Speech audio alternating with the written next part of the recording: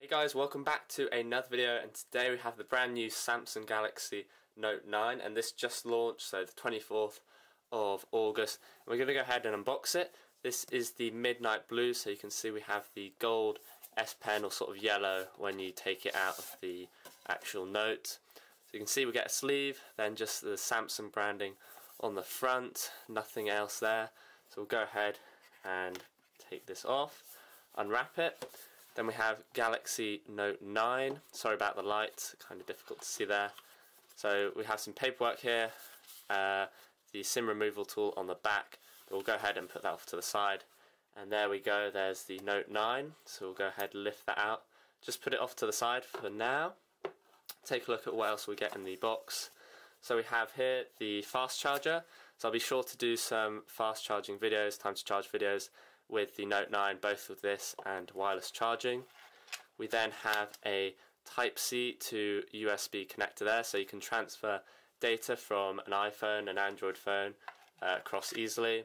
Then we have a micro USB to USB Type-C adapter, so useful if you've got something in your car or some old chargers that you want to use. And then down here we have the headphones, so AKG tuned headphones. We also have the S Pen tips and the pin, uh, the uh, removal tool, sorry. So you can go ahead and remove them and replace them once they get worn down.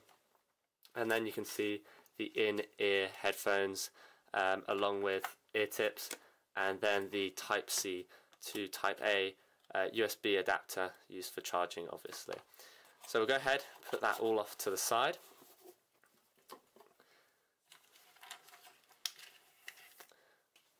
And then we'll bring back the Note 9 so you can see there black front we flip it over and we get that nice blue colour with the new dual cameras along with the LED flash the fingerprint scanner and the heart rate sensor. Some details here uh, Samsung branding uh, with also some branding down here for um, regulation obviously. Slightly less obvious than on the black I'd say. Then flip it over we have the speaker, the camera, the iris scanners, um, ambient light sensor. Down here we have the uh, pressure sensitive home button, so obviously you can't see it, but it is pressure sensitive. On the side we have the volume rocker, the Bixby button, which apparently can't be disabled at the moment on the Note 9 unless you get a third party app. The power sleep wake button there. On the bottom we have the headphone jack, the microphone there, the Type-C connector, along with the speaker and the S Pen of course itself. And then along the top we have the micro uh, SIM tray along with the SIM port. This also, also supports uh, dual SIM, sorry. So you can go ahead and drop in a second SIM there. And then we have another microphone port there. So go ahead and peel this plastic off.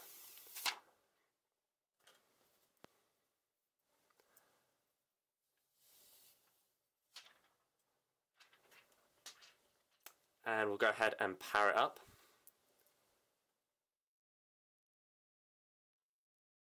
And there you go, Samsung Galaxy Note 9. So go ahead and boot it up. Okay, so I just finished setting up the Samsung Galaxy Note 9. Very quick and easy to do, less than 5 minutes. I'll leave a link in the top right if you want to watch that video. But you can see we can go ahead and sign in. So using the new fingerprint scanner which is now below the dual camera module as opposed to next to it, that easy to sign in. Obviously you have the iris scanner up here, uh, which you can use in combination with the face scanner for intelligent scan. So it's only the iris scanner, fingerprint scanner that can do things like secure payments. Just facial recognition won't do um, payments. You can see down here Samsung Pay. So just the size comparison between the Note 9 and the iPhone 10. You can see that is quite a lot taller than the iPhone 10 and in terms of width we're looking just a little bit thicker, uh, wider sorry, about half centimetre and then thickness is a bit thicker but it does has that 4000 milliamp hour battery and it doesn't have quite the same camera bump uh, as the iPhone 10. If you want to check out this skin, this is a dbrand skin, I'll leave a link in the video description. And you can see the branding as I said just Samsung with some difficult to read uh, legal information. So nicely hidden there So a really nice colour, the blue.